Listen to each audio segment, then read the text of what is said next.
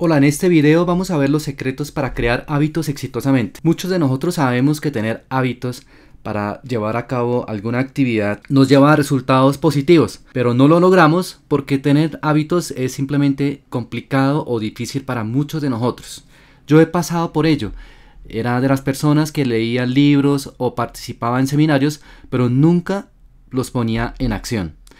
Es que era como practicar un autodesarrollo personal falso era como fantasear cómo sería mi vida, como lo dicen los libros o en los seminarios, pero sin cambiar o llevando todas mis debilidades y miedos. Así que a pesar de leer o ver sobre cambios, me costaba realmente actuar para cambiar.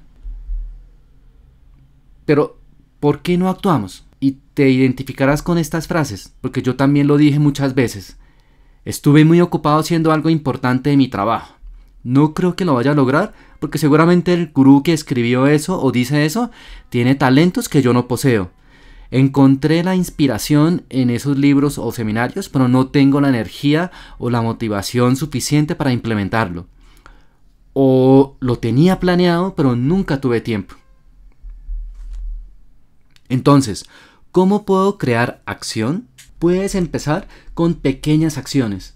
Puedes preguntarte, por ejemplo, ¿cómo hago para llevar a cabo la meta que yo quisiera tener. Escribiendo, por ejemplo, en tu agenda o diciéndole a un amigo sobre ese hábito que quieres tener. Pero esa pequeña acción que te ayude a dar el primer paso, porque el primer paso es la más importante. Muchas veces las personas se quedan en un solo pie esperando dar el paso y se pueden quedar toda la vida parado en un solo pie. El siguiente secreto es buscar una acción que te tome solamente de 2 a 5 minutos máximo.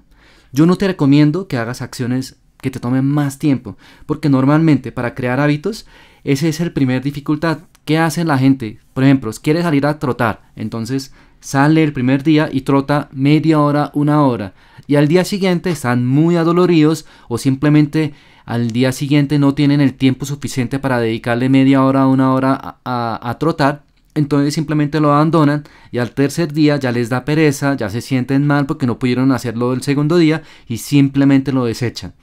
Así que lo que yo recomiendo son acciones de cortas de 2 a 5 minutos. Sal, trota, haz lo que tenga que hacer durante 2 o 5 minutos. De pronto sientes con más energía para hacer más, ok, pero haz esa acción de 2 a 5 minutos. Si te gustó, al siguiente día aumentala un poquito más, hasta 10 minutos y así sucesivamente. Y si te sientes mejor, lo puedes ir ampliando poco a poco con el tiempo hasta que se vuelva un hábito.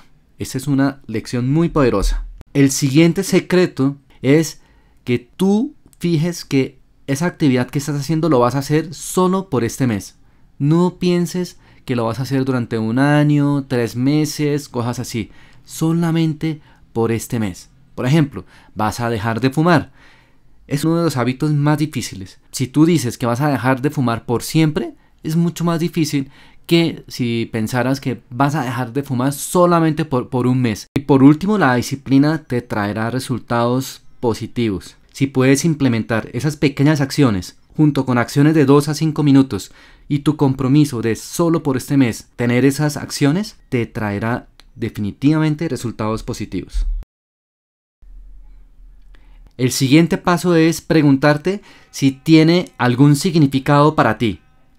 Muchas veces hacemos cosas que no tienen ningún significado para nosotros. Tal vez para ti sea algún resultado a largo plazo como salud, carrera, ayudar a las personas, tener más dinero, pero tiene que tener algún significado para ti que te motive continuar haciendo esas acciones y desarrollar esos hábitos. También es muy importante que te preguntes qué cambios o resultados tendrías una vez que adquieras esos hábitos.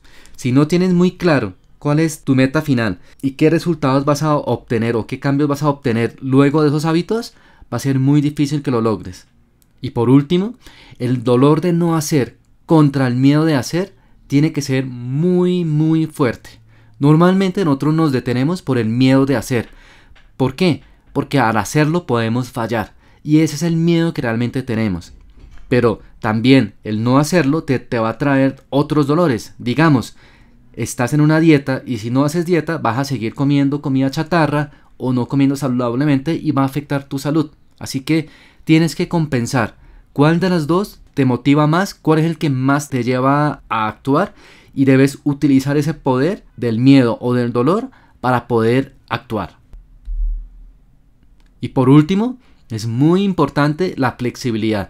En este punto es donde la mayoría de la gente falla, porque simplemente cuando no pueden continuar con el hábito, se dan por vencido. Por ejemplo, digo yo que voy a salir a trotar a las 6 de la mañana, pero ese día me levanté por cansancio que tenía a las 6 y 30 de la mañana. Entonces, ¿qué hace la mayoría de la gente? Dice, no me levante a las 6, me levante tarde, es una señal, no debo seguir con el hábito o no debo salir a correr. ¿Qué hago yo? Simplemente vístete y sal, haz tu actividad de 5 minutos, sal y corre 5 minutos, no importa si ya venías haciendo mayor tiempo, pero ya saliste a correr. Regresa y no te sientas mal. Ya hiciste tu, tu promesa de hacer. Y más importante aún es que celebres cada esos pasos. Si pudiste realizar diariamente tu actividad, pues simplemente felicítate, date un premio especial, tómate un café o vete a tomar un masaje o algo que te realmente te agrade, que no sea una cosa grande, pero poderte dar esas pequeñas celebraciones y felicitaciones por lo que estás logrando. Y por último, es muy importante llevar registro.